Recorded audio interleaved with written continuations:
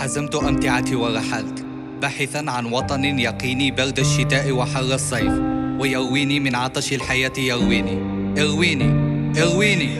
قبلت رأس أمي أودعها هي لا تعلم وجهتي لكن أنا أعلمها.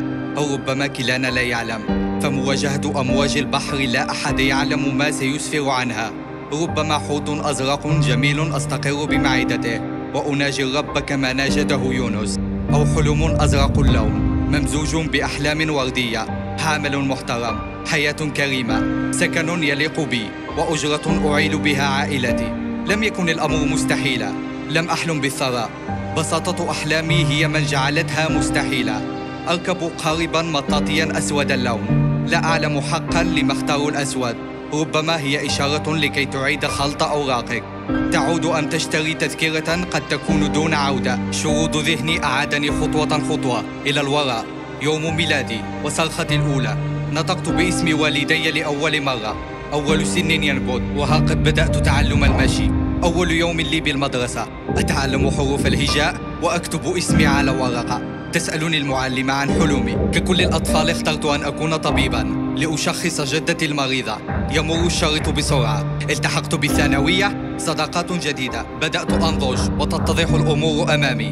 من يبقى على هذه الأرض؟ يخوض حربا طويلة الأمد. من أجل الوصول والأسوأ أنك قد تخسر الحرب وتجد نفسك عاجزا في مقتبل العمر. تعمل عملا لا يناسبك وتتلقى وبلا من الشتائم. الحب كان لي فيه نصيب. كلمة فجملة فكومة من الأهداف.